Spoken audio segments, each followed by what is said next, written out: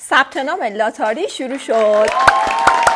بریم ببینیم چطوری توی خونه با موبایلمون عکس بگیریم و ثبت نام کنیم؟ بدون اینکه هیچ هزینه ای پرداخت بکنیم یا بریم یه نفر ازمون عکس بگیره. تاریخ ثبت نام لاتاری 13 مهر تا 17 آبانه. هر کسی که دیپلم داره می‌تونه خودش به شخصه بره لاتاری رو ثبت نام کنه. اما اگر دیپلم ندارین سنتون کمتره پدر و مادرتون می‌تونن برای شما اقدام کنن و ثبت نام کنن. یعنی پدر خانواده وقتی ثبت نام می‌کنه بچه ها میان زیر گروه. اگه توی خانواده یه بار مادر ثبت نام کنه یه بار پدر ثبت نام کنه دو بار شانس هست. یعنی مادر اگه قبول بشه خانواده رو همراهش می‌بره پدر هم همینطور. برای ثبت نام لاتاری نیازی به پاسپورت نیست ولی بعد از اینکه برنده شدیم باید بریم پاسپورت بگیریم. اگر که لاتاری برنده بشین به شما ایمیل نمیدن. خودتون باید برید توی سایت با اون کدی که موقع ثبت نام بهتون دادن پیگیری کنید یادتون باشه تمامی اطلاعاتتون رو درست وارد کنید. اگر مجرد هستین درست بنویسید اگر متأهل هستین به همین ترتیب. اگر که دیپلم دارید ننویسین لیسانس یا اگر لیسانس دارین بزنین فوق لیسانس چون مدرک شما هیچ تأثیری تو قبولی شما نداره. همه چیز باید درست و واقعی باشه.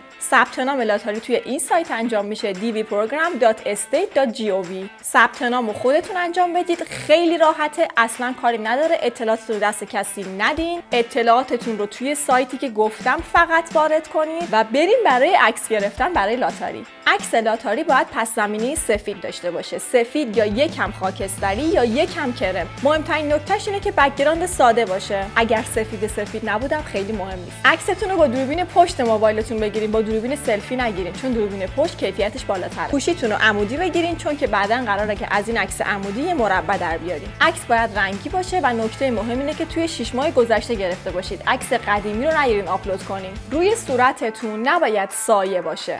یعنی عکسی باشه که یه طرف صورتتون نور هست یه طرفش سایه است. عکستون نباید نویز داشته باشه یا تار باشه و حتی سایه شما بیفته روی دیوار پشت سر. حالا بعد چیکار کنیم؟ یه دیوار سفید پیدا می‌کنیم. حالا یا خونه خودمون یا خونه یکی از اقوام و دوستامون. از دیوار نیم متر فاصله بگیریم. برای اینکه سایتون رو دیوار نیفته. و کسی که از شما عکس می‌گیره با شما یک تا یک و نیم متر فاصله داشته باشه. عکس باید از روبرو گرفته بشه آی لول باشه. نه بالا یا پایین. حجاب داشتن یا نداشتن برای گرفتن عکس لاتاری اصلا مهم نیست. نکته مهم اینه که گردی صورت شما دیده بشه. یا اگرم حجاب ندارین عکستون باید جوری باشه که چتری ها موها همه عقب باشه. بهترین حالت اینه که موهاتون کامل از پشت ببندین؟ یا موهاتون دورتون ریخته باشه. همه موها باید کنار باشه. سمعک عینک کلاه هدبند و اکسسوری نداشته باشین. صورتتون توی عکس باید حالت طبیعی داشته باشه. دهنتون بسته باشه. اخم یا لبخند نداشته باشین. زیورالات استفاده نکنین. با فیلترهای زیبایی عکس نگیرین و آرایش زیاد هم نکنین. کلا عکس لاتاری دیگه. عکس مد و فشن که نیست. پس لازم نیست که اصلا آرایش کنید نکته مهم اگر بچهتون از یک روز تا یک سال تا ده سال هر چقدر که هست باید از بچه هم عکس بگیرین. عکاسی از نوزادی کوچولو سخته اما خیلی واقعا سخت نمی‌گیره. اگر که روی زمین یک پارچه سفید یه دست بندازین و نوزاد رو زمین بخوابونید